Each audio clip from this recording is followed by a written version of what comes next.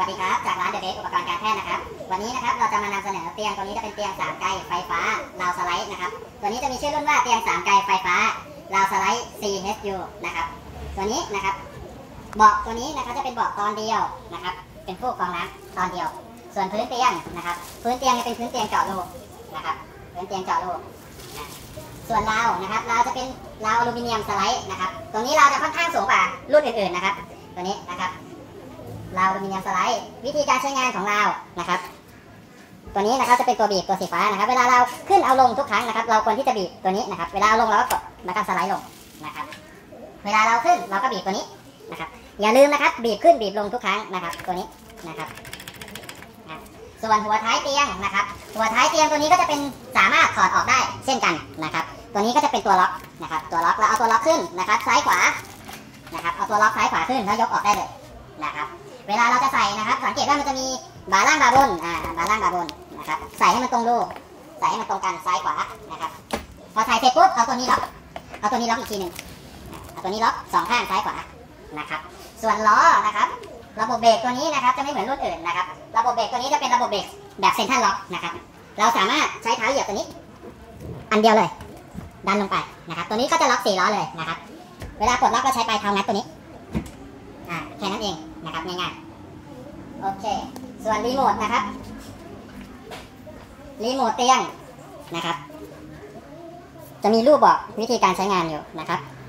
ด้านซ้ายมือตามลูกศรเลยนะครับ ด้านปุ่มด้านซ้ายมือคือปุ่มกดขึ้น ปุ่มขวามือคือปุ่มกดลงนะครับ ตามลูกศรนะครับ ตัวแรกคือปรับความสูงของศีรษะนะครับ ตัวที่สองจะเป็นออโต้นะครับออโต้ออโต้ก็คือเวลาเรากดขึ้นหรือกดลงเนี่ยหัวกับขาเขาจะขึ้นพร้อมกันหรือว่าลงพร้อมกันนะครับ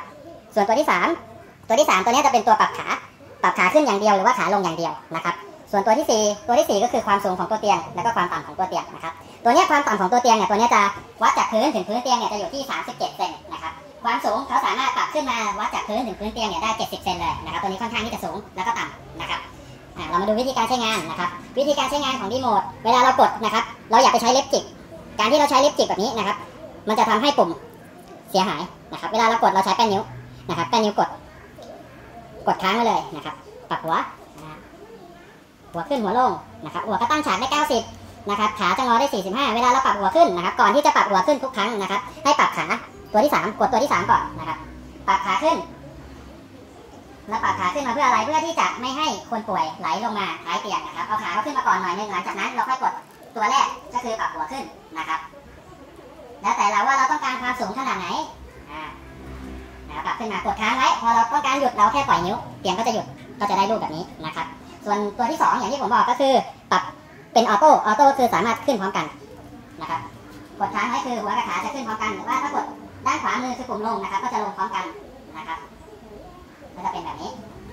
ส่วนตัวที่สี่อันนี้นะครับ จะเป็นปรับความสูงของตัวเตียงนะครับ วิธีการกดเราอย่าไปกดสองปุ่มพร้อมกันกดทีละปุ่มใช้ฟังก์ชันใดฟังก์ชันหนึ่งนะครับอย่าไปกดพร้อมกันนะครับถ้ากดพร้อมกันเนี่ยเดี๋ยวมอเตอร์ มันจะเสียหายนะครับ มันจะไหม้นะครับ วิธีการกดอ่อก็อย่างที่ผมบอกใช้แป้นนิ้วกด ตัวที่สี่คือปรับความสูง ความสูงตัวเนี้ยเราสามารถปรับขึ้นมาได้ถึง 70 เซนนะครับ ในกรณีที่เราจะเช็ดตัวป้อนข้าวเปลี่ยนแพมเพิร์สนะครับ เรากดปรับความสูงให้เหมาะกับเราหรือว่าปรับความสูงให้เหมาะกับคนดูแลนะครับนะครับ ลูกค้าท่านใดนะครับ สนใจติดต่อร้านเดอะเบสอุปกรณ์การแพทย์ได้เลยนะครับ กดไลค์กดแชร์เป็นกำลังใจให้ด้วยนะครับ ขอบคุณครับ